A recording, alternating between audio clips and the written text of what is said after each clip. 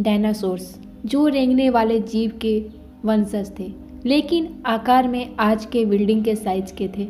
Dinosaurs ने पृथ्वी पर बहुत लंबे समय तक राज किया। करीब 14 करोड़ साल तक इस धरती पर इन दैत्यकार विचित्र डायनासोर का पृथ्वी पर राज था।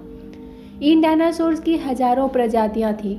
इनमें से कुछ शाकाहारी थे तो कुछ मांसाहारी थे। कुछ डायनासोर बहुत ही शांत स्वभाव के थे तो कुछ बहुत ही हिंसक और खतरनाक थे। डायनासोर्स उस समय के सबसे सफल जीव थे, परंतु उसके बाद ऐसा क्या हुआ? आखिर ये डायनासोर्स कहाँ विलुप्त हो गए? आखिर वो कौन सी घटना थी जिसने उनका नामो निशान मिटा दिया? इसे जानने के लिए हमें समय में फिर से बहुत पीछे जाना होगा।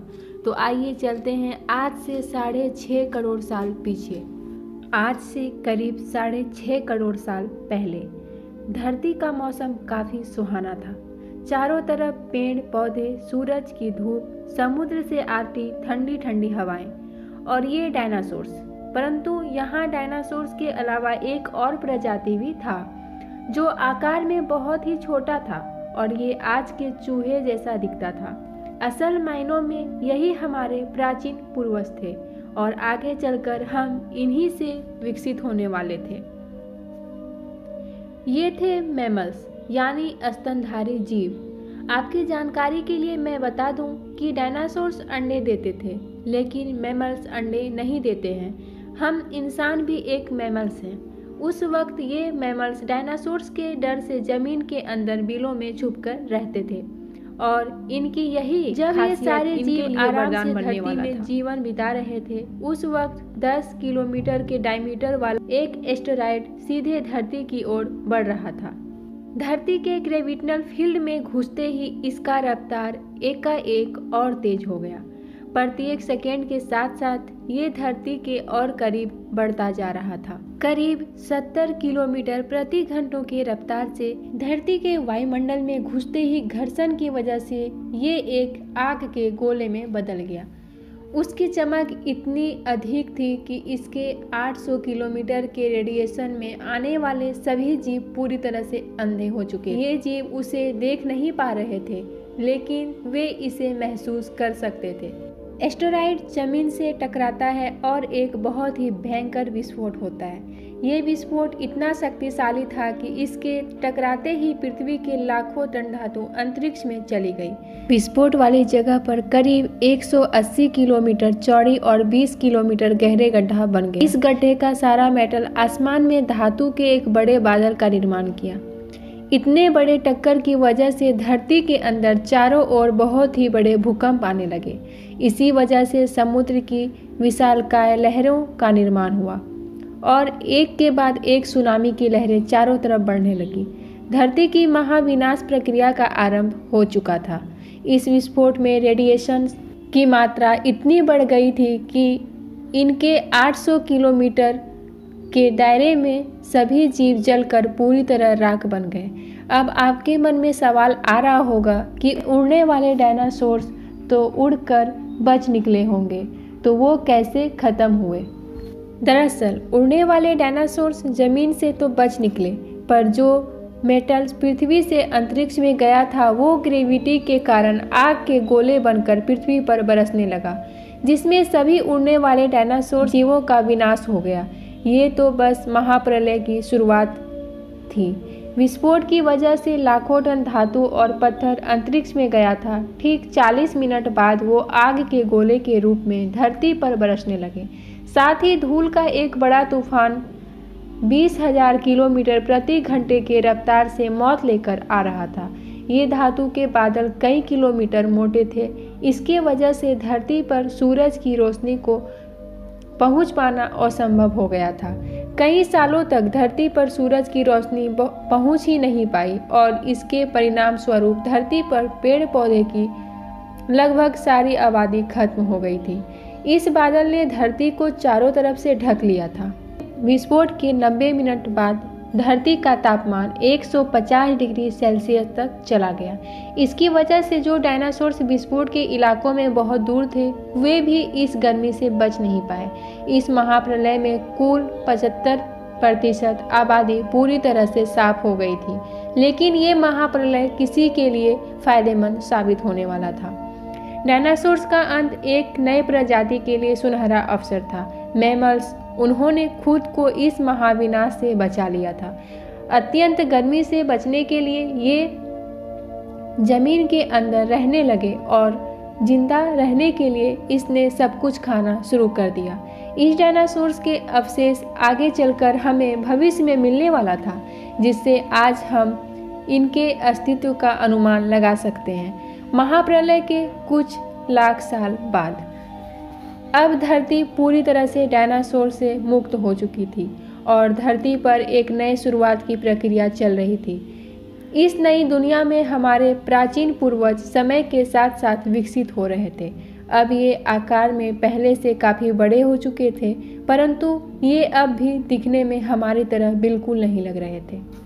क्योंकि इसे आगे चलकर कई अन्य प्रजातियों में विकसित होना था आज से करीब चार दशमलव सात करोड़ साल पहले, अब धरती का वातावरण लगभग पूरी तरह से आज के समान बन चुका था। इस वक्त धरती का तापमान 24 डिग्री सेल्सियस था और धरती का एक दिन करीब करीब 24 घंटों का होता था। इस वक्त धरती के सारे महाद्वीप लगभग जानी पहचानी थी, केवल एक भूभाग की रचना बाकी रह गई थी। धरती के टेक्टोनिक प्लेट्स में एक बार फिर से हलचल हुई, जो धरती के दो बड़े बड़े द्वीपों को एक दूसरे के पास ले जा रही थी। ये वही भूभाग है जहाँ आज इस वीडियो को देखने वाले अधिकतर लोग रहते हैं। ये है इंडिया, जो एशिया महाद्वीप की ओर तेज़ी से बढ़ रहा था। इन दोनों द्वीपों के आपस में टकराने की वजह से एक नए भूश्रीखंड का निर्माण हुआ। एक नई पर्वत श्रृंखला हिमालय। और ये है दुनिया की सबसे ऊँची चोटी माउंट एवरेस्ट इस पर्वत श्रृंखला में गिरने वाले बर्फ़ आगे चलकर कई नदियों का निर्माण करने वाला था, जो भविष्य में दुनिया के लगभग आधी आबादी को पीने का पानी मुहैया कराने वाली थी। लेकिन यहाँ धरती पर अब भी कुछ कमी रह गई थी। धरती पर अभी भी कोई चीज़ लापता थी। वे थे हम मनुष्य। लेकिन परिस्थितियाँ अब बदलने वाली थी। आज से करीब 40 लाख साल पहले अफ्रीका के पूर्वी इलाके में एक नए पर्वत श्रृंखला का निर्माण हुआ। East African Rift Valley. ये पर्वत यहाँ आने वाले मानसूनी हवाओं की एक अवरोध बन गई थी और इस वजह से यहाँ के जंगलों में बारिश आनी बंद हो गई थी। यहीं इसी जंगल में रहते थे हमारे पूर्वज बंदर, यानी जिनकी प्रजाति का नाम था पेरोलापिथिक्स।